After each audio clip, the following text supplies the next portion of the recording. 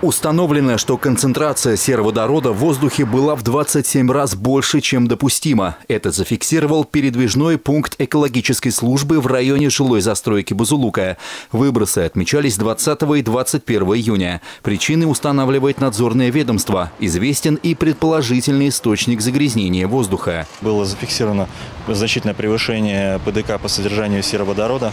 Соответственно, были проведены э, проверочные мероприятия, осуществлен выезд с целью установления источника.